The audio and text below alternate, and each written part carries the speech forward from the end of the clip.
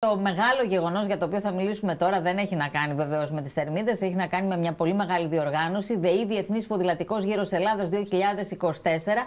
Αύριο εκκίνηση από τη Θεσσαλονίκη, τερματισμός στις 19 Μαου στο Παναθηναϊκό Στάδιο. Ο καλός συνάδελφος ε, του μηχανοκίνητου αθλητισμού και όχι μόνο, ο Τριαντάφυλλος ο Τσουλφάς, είναι τηλεφωνικά μαζί μας.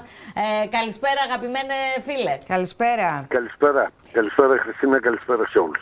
Ε, τι γίνεται λοιπόν, είναι ένα γεγονός πολύ μεγάλο από ό,τι αντιλαμβάνομαι. Εμείς δεν είμαστε εδώ ε, δημοσιογράφοι που ξέρουμε πολύ καλά τα αθλητικά δρόμενα, αλλά είναι ένα πολύ μεγάλο γεγονός που θα πρέπει να το δει και να το αγκαλιάσει και η πόλη με τον τρόπο που του αξίζει.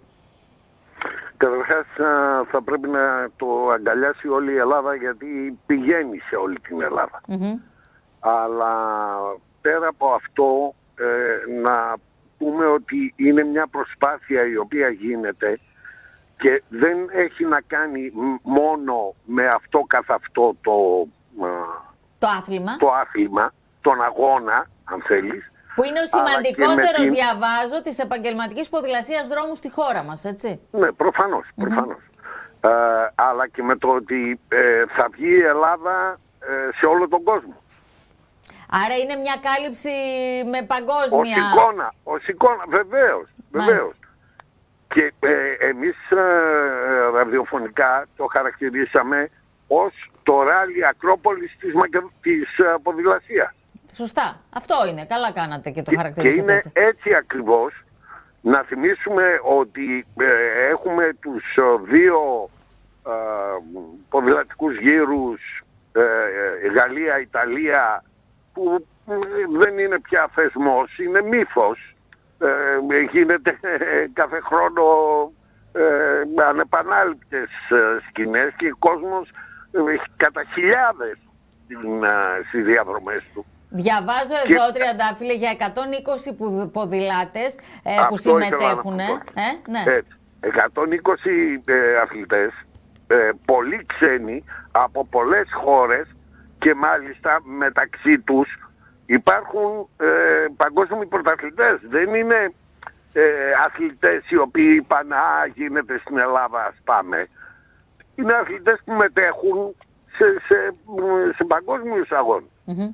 Ε, αύριο λοιπόν νομίζω ότι... στις 4.30 είναι η εκκίνηση, σωστά; Κατα, καταρχάς ξεκινάει από σήμερα. Ναι. Γιατί στις 5.30 ώρα στο, στο Λευκό Πύργο γίνεται η παρουσίαση των ομάδων. Σωστά. Από Οπότε, σήμερα. Ξε, ε, έχει ένα ενδιαφέρον να δούμε ε, αυτούς τους ανθρώπους από κοντά. Γιατί μέσα σε μια διαδρομή, ξέρεις τώρα, εγώ είμαι εδώ, εσύ είσαι αλλού, ε, μπορεί να μην προλάβω και όλα αυτά.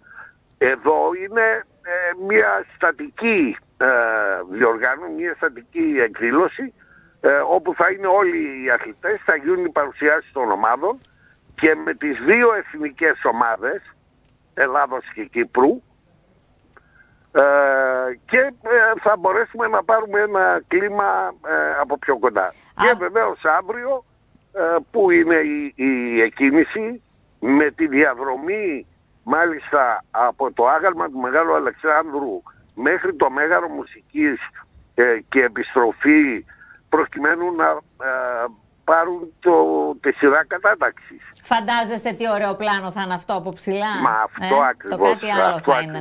Λέω, η πόλη μας παντού, σε όλο τον κόσμο.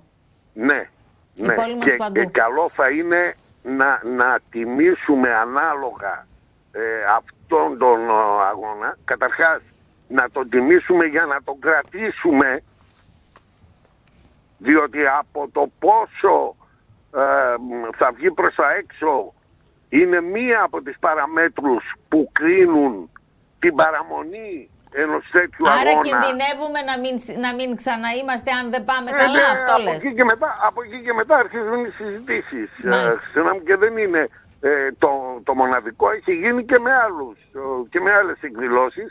Να μην ξεχάσουμε, να μην ξεχνάμε ότι στην Ελλάδα έγινε ένα και μοναδικό, μία και μοναδική ε, σαλό, ένα και μοναδικό σαλόνι αυτοκινήτου στην Ευρώπη όπως είναι της Γενέβης, του Παρισιού κτλ. Και, και το χάσαμε.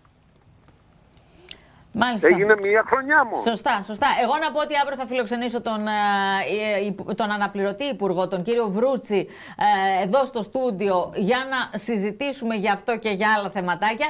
Ε, ευχαριστώ πάρα πολύ, Τριαντάφυλλη, για την παρέμβασή σου και για τις πολύτιμες πληροφορίε. Να είμαστε όλοι εκεί. Έτσι, να είμαστε όλοι εκεί. Αυτό είναι το σύνθημα.